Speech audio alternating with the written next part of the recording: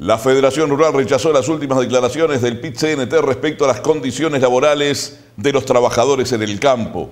Cabe recordar que desde la Central Obrera se culpó a los patrones rurales de explotar a sus trabajadores a partir de salarios que están por debajo del mínimo nacional y de brindarles condiciones laborales indignas.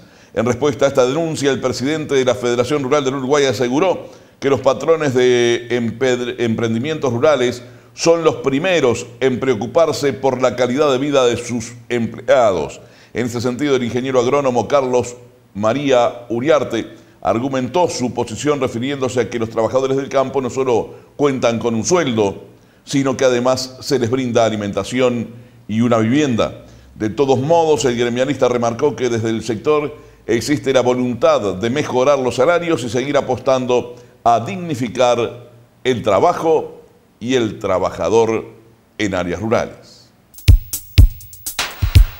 Cuando uno se refiere al sector, se refiere llorones, quejones y todos esos adjetivos que, en realidad no, no, son. Digo, nosotros estamos, como todos los restos de los, otros sectores, estamos planteando nuestras, lo que nosotros pensamos. Y en el caso este que tú te refieres, ni siquiera hemos llegado a plantear. Ni siquiera se ha llegado a plantear.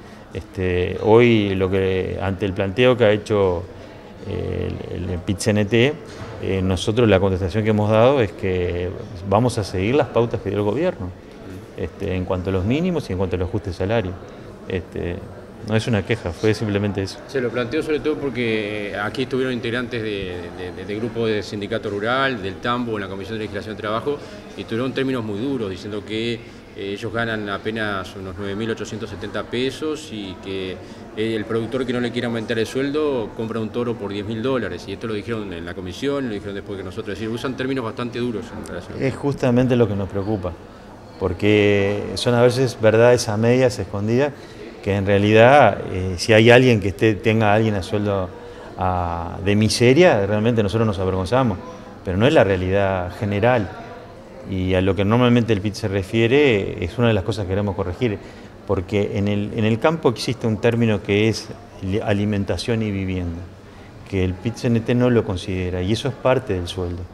Entonces, cuando, cuando el PIT-CRT se refiere a un mínimo de 8 mil pesos, no considera ahí alimentación y vivienda. Que si lo ponemos arriba de ese sueldo, estamos por arriba del mínimo nacional.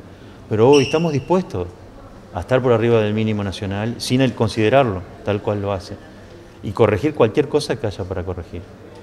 Pero, sí. Sí, y en relación al que también eh, justamente habló de un término y en relación a, justamente cómo se vive la situación en el campo. Ellos dicen que se terminó aquello de que eh, el trabajador era parte de la familia, que no son familia. No, eso es un error. Eso es un error que obviamente el, que está hablando este, viene, proviene de, el que está hablando con nosotros en el Consejo Salario es un metalúrgico y demuestra un gran desconocimiento del relacionamiento que aún existe en gran parte, no digo todo, pero gran parte de las empresas rurales.